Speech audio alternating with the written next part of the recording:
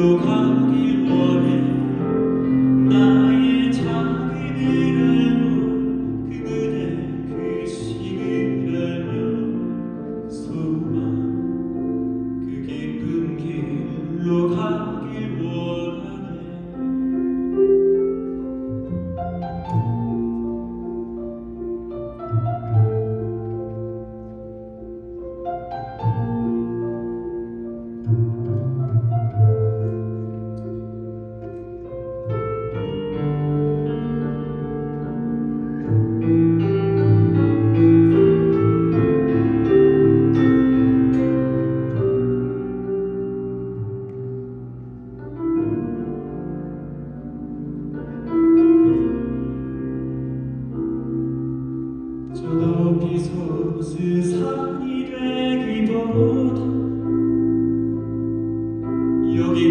오름직한 동산이 되길.